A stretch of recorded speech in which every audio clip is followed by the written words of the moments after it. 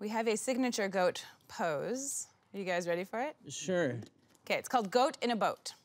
If you're feeling a little more lazy today, you can just do regular boat or lazy boat where you're not holding yourself up. And if you're really lazy today, just do raft. So, pick your boat. The goats will come in your boat. Oh no. Coco. I never wanted a goat to come in my boat. That's the Dr. Seuss they never released.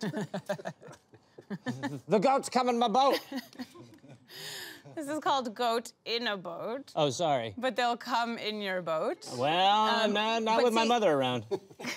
oh, oh, oh, rafting. I can't put my face down because a goat earlier defecated on my raft. Blessed it. Blessed it, sorry.